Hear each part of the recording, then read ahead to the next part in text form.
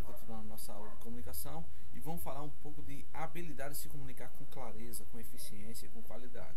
Né? Seria muito bom a gente poder praticar isso de forma presencial, mas com o novo normal, a pandemia e o possível retorno das nossas aulas, que vai sair o horário provavelmente essa semana, é, fica difícil a gente trabalhar de forma eficaz, né? Questão desse conteúdo. Mas o importante é a gente trabalhar de forma teórica e vocês se apropriarem e treinarem sozinho em casa mesmo ou com seus familiares próximos, já que estão todos protegidos, essas metodologias, essas formas de se comunicar com clareza. Né? Então, vamos começar agora. Deixa eu sair da frente. Estou aqui na frente.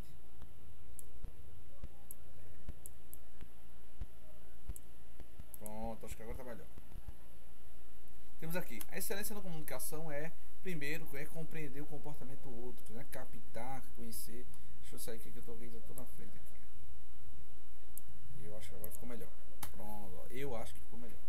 Outra coisa, ser sensível à comunicação não verbal, né? Você sentir, sentir você perceber quais são os desejos da outra pessoa pelo simples linguagem da comunicação não verbal, que é muito importante. Pessoas que captam na hora, como é? Eu assim, ah, captei no vento, não, mas às vezes a observação ela transforma, ela traz isso muito bem a questão da compreensão da outra pessoa. Ver, ouvir e sentir o que está sendo dito, prestar atenção, focar no exato momento, deixar para é, focar em outras coisas depois. O foco né, imediato é ser autêntico também, sem magoar o outro. Né? Você colocar seu ponto de vista sem pisar, sem machucar. Você tem que realmente transpor isso de uma forma eficaz, de uma forma branda manter debates abertos, você captar a informação dos outros, você somar informações com os outros. Isso é muito importante também. A partir do momento que você é, transparece sua opinião, ou transparece sua opinião, o outro transparece sua opinião, você entende algo que às vezes não tinha entendido. E isso soma. Né? Dentro da empresa chama-se brainstorm, que é chuva de tempestade de pensamentos, é, na tradução literal. Né? Elucidar e desenvolver ideias, né? Isso é muito importante. Mudanças, transformações, melhorias, adaptações, isso é muito importante. Compartilhar informações, né? É, eu acho eu gosto muito de conversar com pessoas de outras regiões para captar a experiência delas, para captar a visão delas, para trazer para mim. Usar dados reais com base como base para decisões. Nada de achismo, nada de alguém me disse, não, meu primo disse, não, não foi isso. Não tem algo concreto, tem algo real. Às vezes o, boato, né, ele tem algo concreto, às vezes não. Então, mas o mais importante é dar dados reais, informações reais. Pronto, recentemente o Shopping Carpina oficialmente divulgou que vai investir 4 milhões e meio na sua primeira expansão e trazer uma loja de renome nacional que é a C&A. Então isso aí é muito importante. E isso vai trazer outras lojas, vai agregar valor às outras lojas. Outra coisa, decidir consensualmente, né? Tem que decidir conjunto, né? A decisão não pode ficar somente uma pessoa, tem que ser realmente partilhada, tem que ser realmente é, dividida, difundida.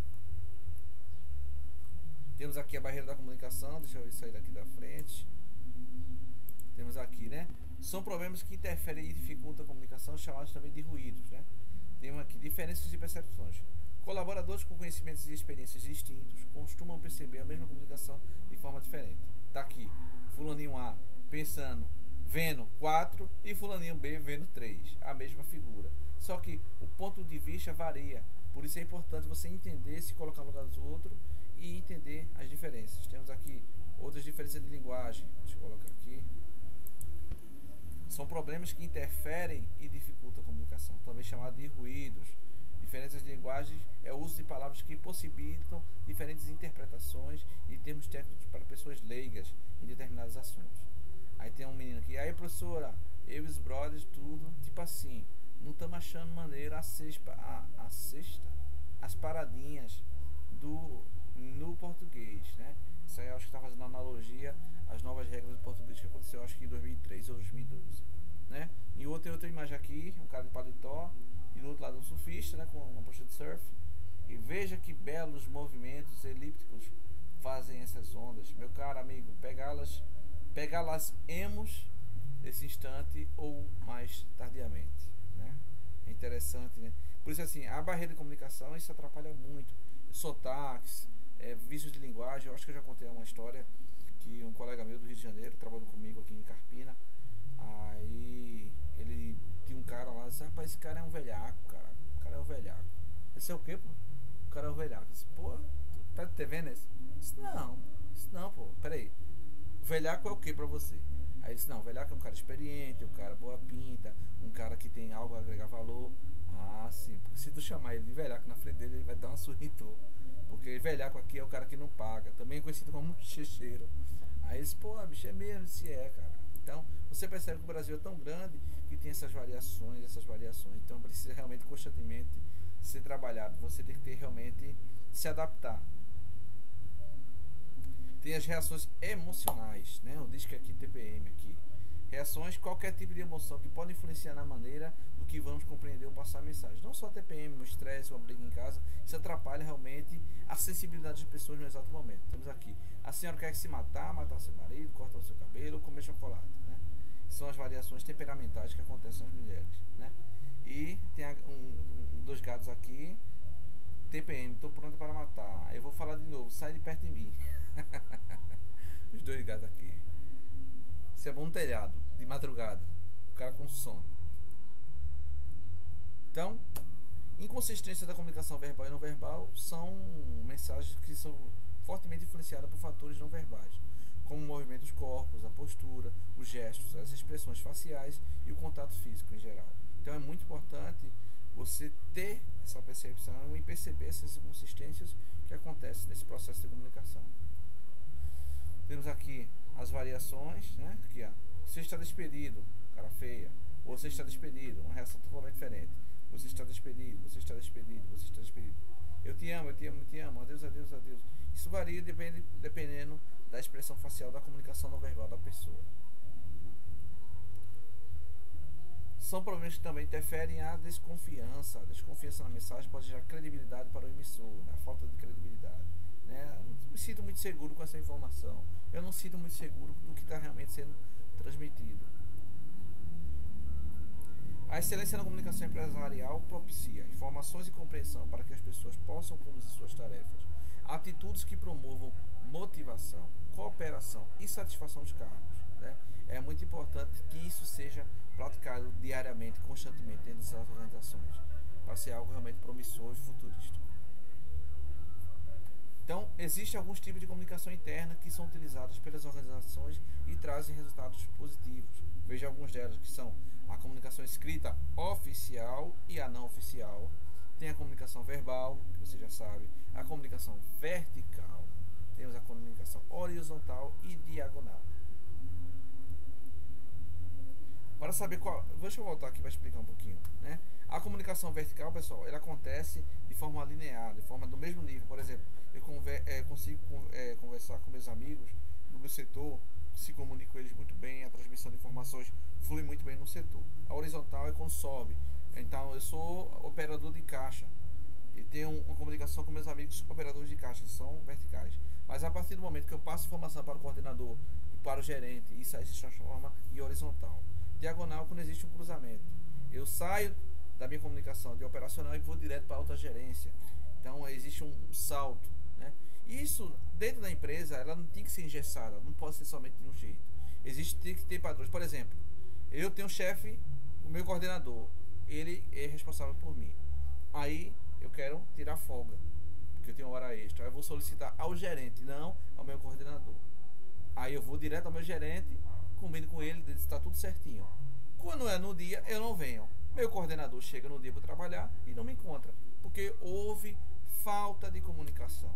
Isso ocasiona vários problemas e transtornos da empresa. E ocasionou e aconteceu uma situação. Eu trabalhava numa empresa, numa uma rede, uma pequena rede, e uma funcionária tinha direito, né? A empresa cedeu de forma de bonificação para todos os colaboradores o direito do seu aniversário tirar o dia de folga.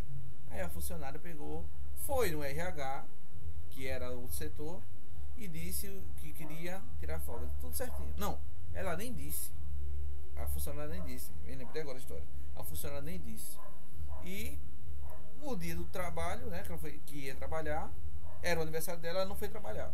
O gerente vai e, e procura. Diz, olha, a fulaninha não veio, também não deu satisfação. Aí gerente tentou entrar em contato com ela, ela também não respondeu.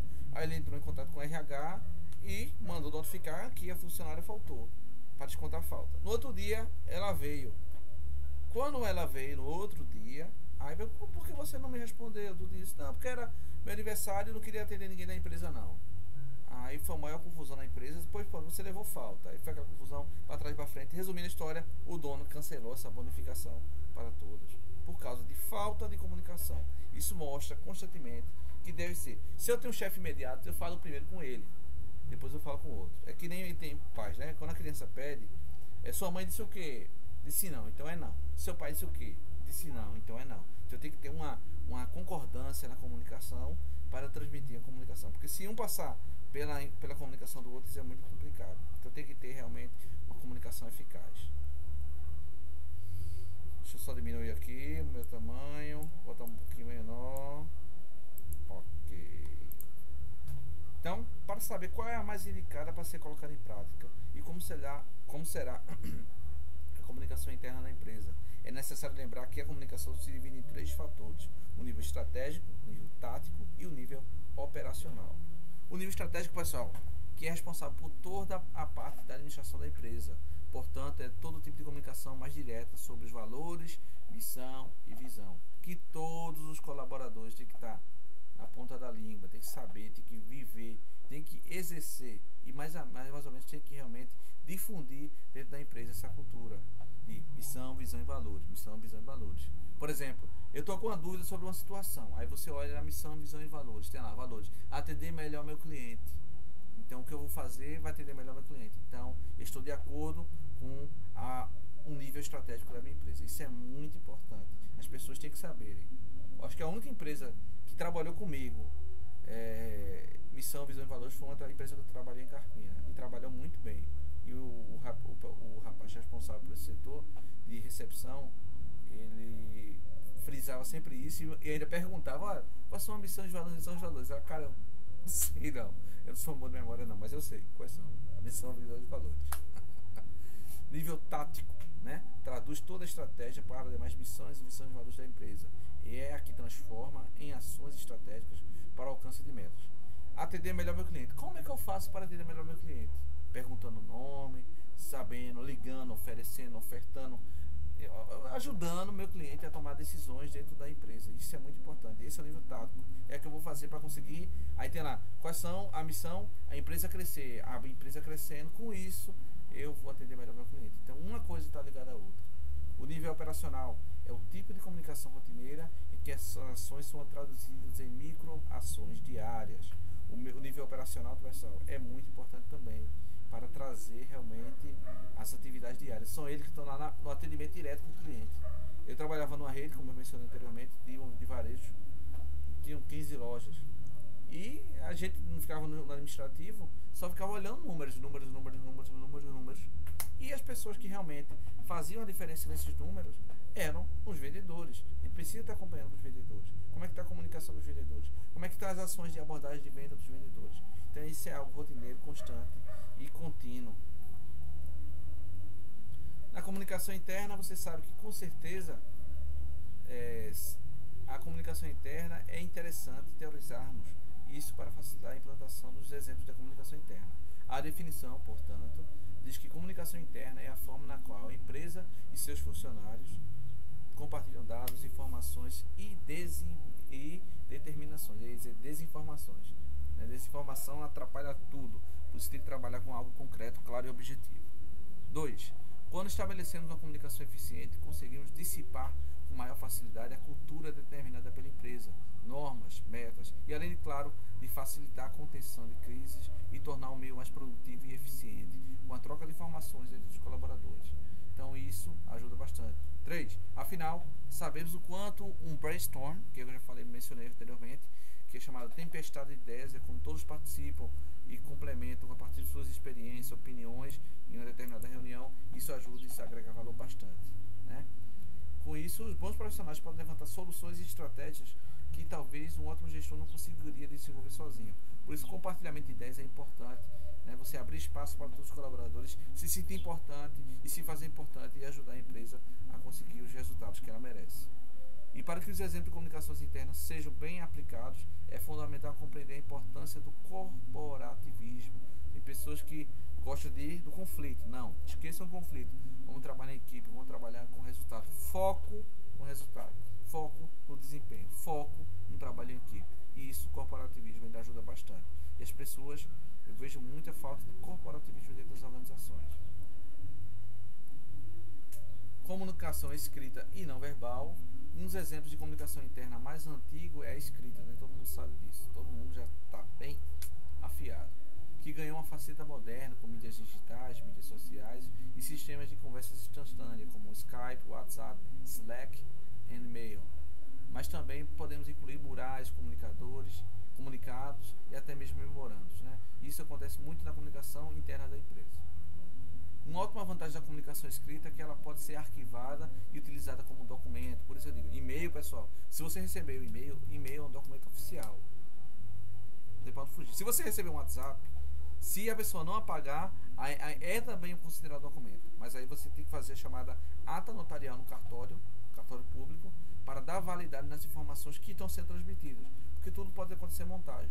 Por isso que existe a ata notarial para validar esse tipo de informação é muito importante. Por isso, esse período de eleição, né, de calúnia, difamação, o pessoal posta e depois apaga. Você postou, vai no cartório, ele valida a, a, a veracidade da informação, aí ele vai e acontece. Mesmo quando eles não estão participando da conversa em tempo real, isso ajuda bastante na comunicação. Né? O WhatsApp é um exemplo muito bom disso. Né? Eu acho que quando eu saí da empresa, o WhatsApp já existia, mas ainda estava evoluindo. Hoje faz parte de toda a empresa. Né? É um meio de comunicação muito eficiente. E eu, a empresa que gerencia o WhatsApp, que é o Facebook, ele quer unificar o WhatsApp, Messenger e o Direct e transformar tudo num sistema só. Isso vai ajudar bastante. Vale ficar atento, entretanto, à linguagem utilizada neste exemplo de comunicação interna. O ideal é que ele seja profissional, mas treinamento claro, é fundamental também que compreenda que apesar de ser um diálogo, é uma comunicação profissional. Comunicação profissional, pessoal, não pode ser qualquer jeito, de qualquer forma, tem que ser realmente direta, clara, objetiva e profissional. Comunicação verbal é um dos exemplos mais utilizados por pequenas e médias empresas. Estamos falando de reuniões, palestras, inclusive confraternizações. Comunicação verbal, portanto, pode ser mais informal, com a intenção de troca de relacionamento entre os colaboradores, mas também formal, quando precisamos estabelecer estratégias e criar e compartilhar acontecimentos e resoluções. O Google, por exemplo, ele cria sala de convivência com jogos, poltronas confortáveis e até terraço para estimular a troca de informação entre os colaboradores. É bom ser uma empresa como o Google, quando percebe quanto isso é construtivo e também devemos prestar atenção, não é mesmo? Né? A gente tem que visar empresas que estão dando sucesso, que estão transformando o mundo para melhor. Comunicação vertical é um dos exemplos de comunicação interna que segue os níveis hierárquicos da empresa. Normalmente, gestores, presidentes e sócios comunicam algo ao restante da equipe. A finalidade é geral, é estabelecer estratégias, metas e também objetivos que devem ser repassados posteriormente para os demais colaboradores. Né? A, a, horizontal, como você imagina, existe exemplos de comunicação interna horizontal. Ao contrário do formato acima, ela é global, inclui todos os níveis da empresa. O objetivo costuma ser relacionado à interação interpessoal, à dispersão de informações e o acompanhamento e compartilhamento de dúvidas e ideias. Outra, outro setor bastante importante dentro da empresa é chamada Rádio Peão né, rádio peão, tanto ajuda como atrapalha. Ajuda quando é informação oficial, ela se difunde mais rápido. Atrapalha quando é boato, quando é fofoca e atrapalha realmente os objetivos da empresa. Por isso, pessoal, muito cuidado na disseminação de informações sem credibilidade, sem veracidade, né? As famosas fake news, né?